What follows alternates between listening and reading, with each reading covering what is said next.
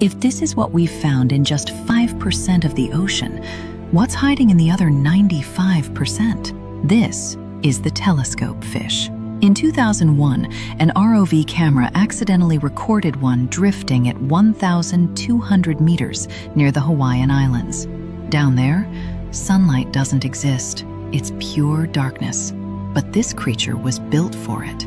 Its eyes are long, tubular lenses, almost like little telescopes, designed to catch even the tiniest reflection of light in a place where light shouldn't exist at all.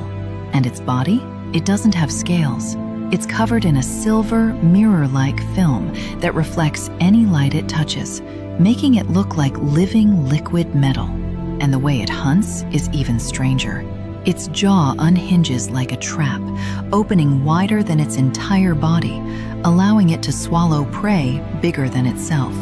Scientists don't think this design is an accident. It's survival. In the deep ocean, meals are rare. So evolution turned this creature into a weapon. If this is what we've found in just 5% of the ocean, what's hiding in the other 95%? What else is staring back at us from the dark?